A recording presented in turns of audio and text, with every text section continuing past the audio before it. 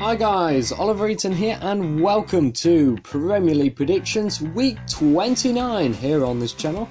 Uh, this week we have three big derbies all on the top row. We've got the Merseyside derby, the big London derby and also the other London derby which goes under the radar quite a bit. We also have these other seven matches but as always we will start with this midweek games results, starting with your guys' predictions.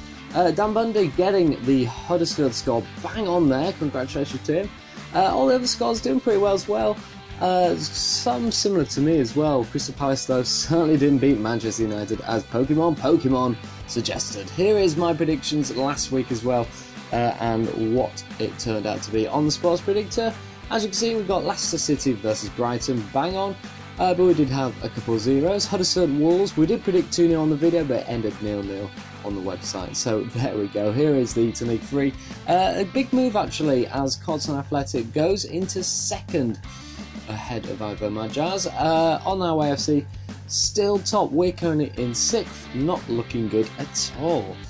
Right, without further ado, let's get into predicting these 10 predictions, starting with the big derby. It is Tottenham Arsenal, and I've gone for a 1 0 home win, yes, at Wembley Stadium. I think Tottenham, yeah, they've done a Tottenham, haven't they? Uh, they've fallen apart, they're losing out on the title, but I think they will get the upper hand against Arsenal. Uh, it's a strange score, but I think maybe the home crowd will just pull it through. Bournemouth, Man City, I swear these teams always play each other. Uh, but uh, I've gone for a 4 1 home win, away win even. Uh, I think Man City, they're a much stronger side than Bournemouth. Bournemouth will cause them troubles, I think, uh, in getting their one goal, but I don't think it'll be enough. Uh, Huddersfield were robbed of three points when they last played Brighton at home, uh, so I think they will get a 1 1 here. Brighton, they've not been on the best forms themselves. I think there will be a tough game though for Huddersfield, and if they're going to get a point similar to last season, a 1 1, maybe a fair score for both of them.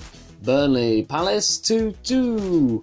Uh, both teams are predicted to get points in midweek, but both failed.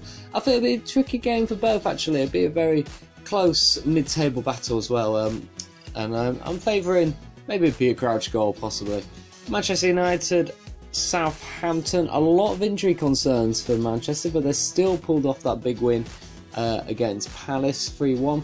I've gone for 1 0 though, uh, maybe. Uh, I should have thought this one more, but I think 1 0 might be a tight game. Wolves, Cardiff, Wolves must have overcome the embarrassment. They lost to Huddersfield twice.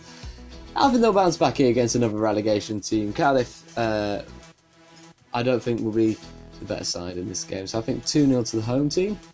West Ham, Newcastle, I've gone for a 2 1.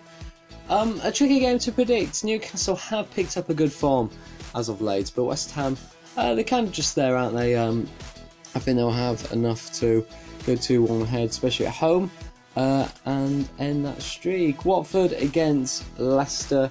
Brendan Rodgers Leicester, I think, will actually be defeated. Now, Watford did lose 5 0 against Liverpool, but I do like Watford and I think they might have enough to come through this game. It'll be a close game, 3 2. Be interested to see, though, Brendan Rodgers' take on the game. One of the big derbies, 3 1 to the away team. Chelsea uh, got the win against Tottenham, a good win that was. Are they go bounce back now and finish on a high? Possibly. Fulham, though, deep in the relegation troubles as it stands. 3 1 there to Chelsea here. And the big Merseyside derby. I've gone for a repeat of the reverse fixture 1 0 to Liverpool. Uh, I think it'll be a close game and it'll be a big test actually for Klopp and his men. Uh, but they'll be wanted to overcome Everton. And I've gone for that 1 0 slight win once again. Well, guys, thank you for watching if indeed you still are. Make sure to comment down below and I will put them on screen and talk about them next episode. But until then, bye bye.